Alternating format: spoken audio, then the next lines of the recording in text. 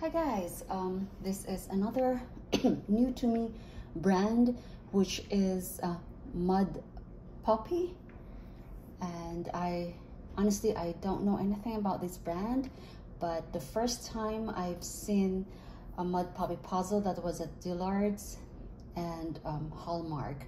I think they do have that online also um, at Macy's. Anyway, I got this from um, Home Goods and it was on clearance and I only paid $6. Um, retail price for this is $19.99 plus tax, so it's the same uh, price range as that of a Ravensburger.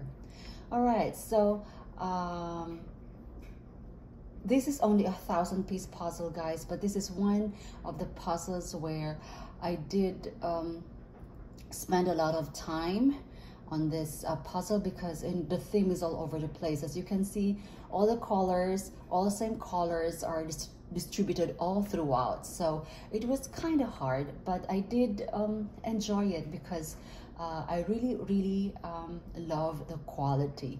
Normally, if a puzzle is very, very difficult, like I want to tear my hair out, I would be more frustrated if um, you, know the quality is very very inferior. But on this one for some reason um, I didn't I didn't mind. But I had to I didn't finish normally a 1000 piece puzzle would be like probably in two sittings only. Remember I do not sit down all throughout the day or do any 12 hour marathon or 24 hours I've been seeing online. No way I cannot do any of that sometimes I only start at 10 p.m. That's when I'm all done with my chores. So that's my pleasure, guilty pleasure time. And then I would finish whenever I want, like normally at 12, and then come back again the next day, same time. So uh, I think it would take me four or five hours for a 1,000 piece puzzle.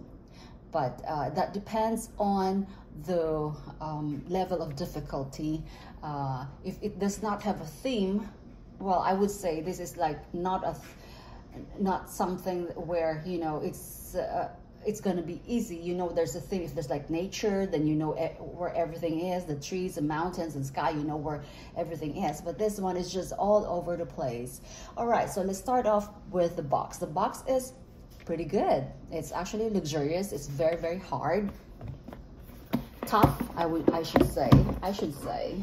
Uh, i have no issues with the box okay it's it's just um, it's better than of course Ceaco and it's better than Buffalo.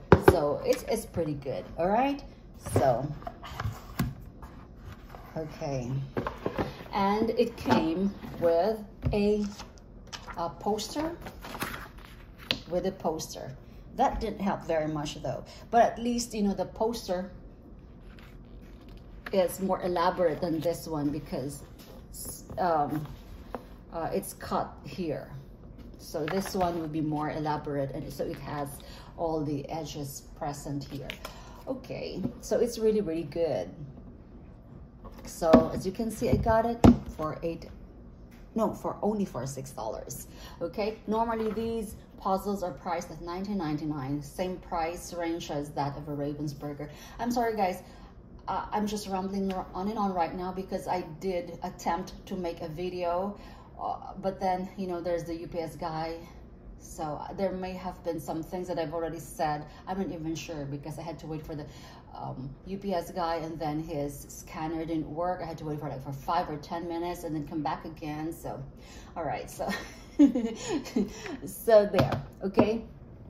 Now um, first thing guys the quality of this one is very very superior. It's I'm very, very impressed. Uh, to start off, the box was good. Well, price range was good for me because I got it for um, a clearance section. And there was no puzzle dust. As you can see, zero puzzle dust. It was very, very clean. I did not have to have a strainer. I just poured it out. It was really, really clean, okay? And I have had no issues on um, this puzzle. Uh, it's just really, really good. So they have the standard shape puzzle. Look at that. Standard shape. no goofy or um, odd shapes at all. Look at the back. It's really, really clean. Very, very clean. Okay. And the colors are really, really vibrant. Vibrant and really glossy. Um, normally, the downside to that is that the, it would have a glare effect, but the, this one did not have any glare I did not have any problems with, you know, uh, glare or whatever. So it's really, really good. It's very, very, um, the color is vibrant. I love it. And um, it's okay. Uh, it did not, this is really, really tough. It's not, um, it's really, really, you cannot bend it. It's tough and I did not have any peeling issues.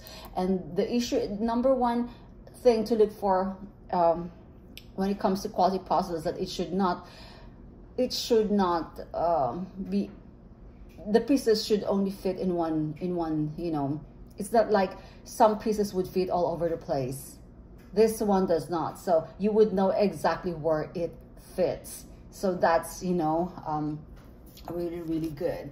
And what else? Um, yeah you cannot peel it you cannot bend it. So peeling issue has been my uh, problem with Ravensburger because if I try to do this, it peels. I have long nails. It's still, you know, this doesn't peel at all. So it's really, really good. So I would say 10 out of 10. and I'm going to um, get more. Hopefully, um, you know, I'll see some in the clearance uh, section. Okay, so let me just show you the picture you can see it's really, really good. It's, it's very, very vibrant and like polished. It's, it's, it's like I want to, that it looks like Yoko Ono. Love wins. So it has, um, yeah, I struggled with the faces, guys. and I struggled with the pinks and the purple, I mean the blues and the purples because and the yellows, they're all over the place. So I think the first one that I did was this Yoko Ono thing. But even then, this one shares the same, the same. So the level of difficulty on this one is really, really, really, really hard. I would say, you know, eight out of 10 or probably nine out of 10 because it took me a long time. I think five days to, to build this because I wasn't sure. Well, yesterday I, I had to attend mass. It was Ash Wednesday yesterday. So I did not do any of this for like a day or two. And then I came back. So I think that's probably why it, it took me five days to finish this. Okay. So there you go. It's, it's impressive box and um, no puzzle dust, no glare, right pieces fit together and uh, yeah so that's it. I would rate this 10 out of 10 i'm very very impressed. Okay there you go. Bye